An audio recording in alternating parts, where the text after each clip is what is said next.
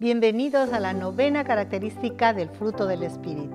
Dominio propio. La palabra griega que traduce autocontrol o dominio propio proviene de dos vocablos, en kratos, o sea, en autoridad, fortaleza, dominio o poder. Una persona que tiene en kratos tiene fortaleza interna. La pregunta que debemos hacernos es, ¿quién o qué domina nuestras vidas. El dominio propio es una de las habilidades más grandes que podemos tener y se desarrolla en nuestras vidas cuando permanecemos cerca de Jesús. Muchas personas tienen dominio propio en un área de sus vidas, aunque se están destruyendo en otras. Alguien dijo, hay hombres que pueden mandar ejércitos, pero no pueden con ellos mismos. Tengamos cuidado pues las actividades o comportamientos aparentemente inocentes nos pueden esclavizar. Por ejemplo, podemos buscar muchos métodos para bajar de peso.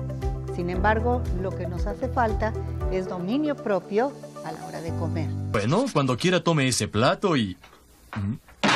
¡No se lleve el baño María, señor! Lo mismo sucede cuando las personas se vuelven adictas al trabajo, a la televisión, al ejercicio, al sexo y a otras cosas que no son malas, pero si se realizan con moderación y dentro de los principios de Dios. Sin dominio propio, cualquier hábito o comportamiento puede dominarnos. Proverbios 25-28 dice, una persona sin dominio propio es como una ciudad con murallas destruidas. El dominio propio y la disciplina trabajan juntos. La Biblia dice en la carta de primera a los Corintios 9, 24 y 25. ¿No se dan cuenta de que en una carrera todos corren, pero solo una persona se lleva el premio? Así que corran para ganar. Todos los atletas se entrenan con disciplina. Lo hacen para ganar un premio que se desvanecerá, pero nosotros lo hacemos por un premio eterno. De esto aprendemos varias verdades. Número uno, la vida es una carrera. Ningún atleta gana la carrera a menos que esté en condiciones excelentes.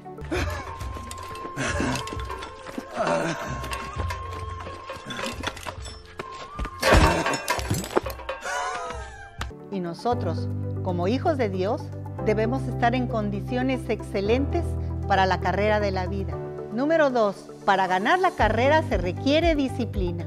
En estos tiempos vivimos falta de determinación.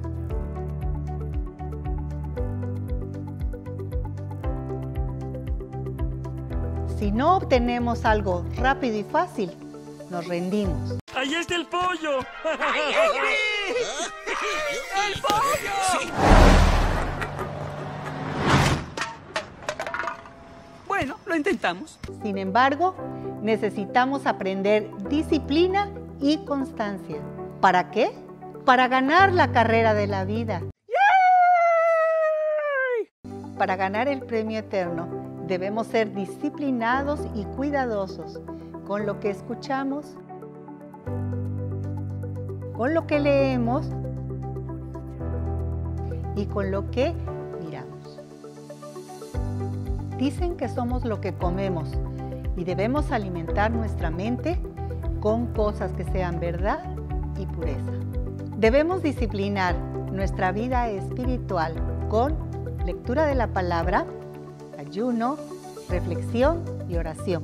Punto número 3. Necesitamos saber hacia dónde vamos. A veces parece que vamos por la vida sin dirección. ¡Luchar contra la corriente! ¿Te equivocas, Flanders? En estas circunstancias solo hay que relajarse y dejar que la corriente nos devuelva a tierra.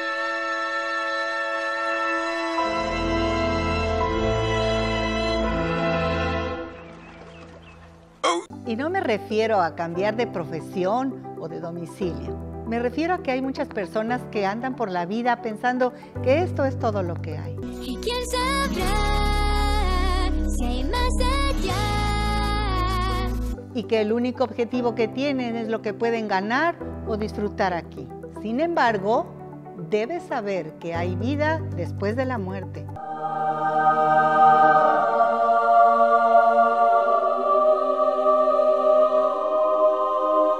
Y tienes que decidir qué es lo que quieres y reajustar tu dirección.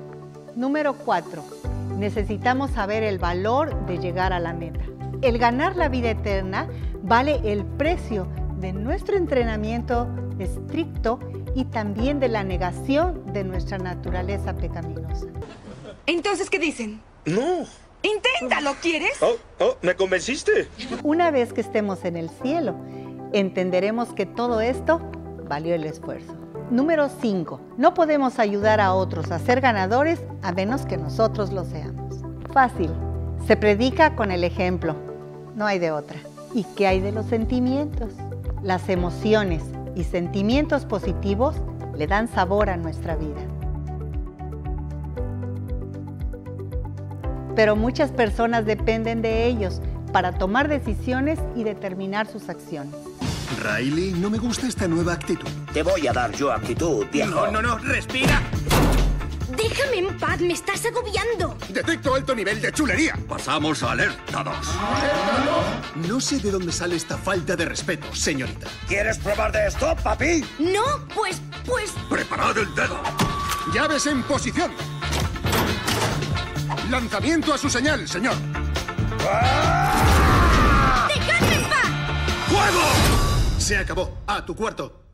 Así que para tener dominio propio debemos tener control de nuestras emociones. ¿Es difícil? Sí. Y más porque la sociedad nos enseña constantemente de que es mejor seguir nuestro corazón y nuestros sentimientos. De hecho, todos sabemos que así funciona la mercadotecnia. Analiza nuestras emociones y apunta hacia ellas. Compri, compri, compri, compri.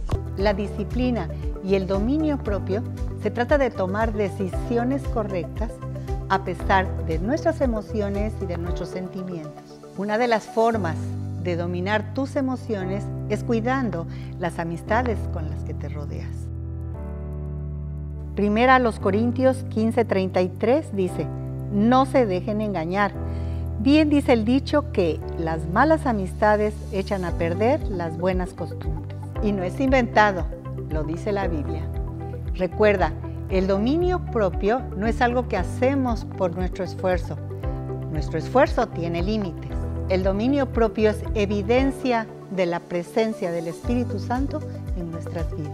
Hasta aquí, la novena característica del fruto del Espíritu. ¿Qué tan bueno eres para controlar tus emociones? Honestamente, ¿te has vuelto adicto al trabajo, al entretenimiento, a la comida, al ejercicio? O quizás no lo sabes, pero estás atrapado en un círculo vicioso. Pasemos tiempo con Dios para que dejemos que el Espíritu Santo nos examine y nos transforme y así poder tener dominio propio. Escribe tus comentarios, nos gustaría saber tu opinión. ¿No pueden qué? Pueden, que pueden dominar, mandar. Con lo que miramos, con lo que oímos y con lo que hablamos. No. y en lo que miramos. y también de eso que nos...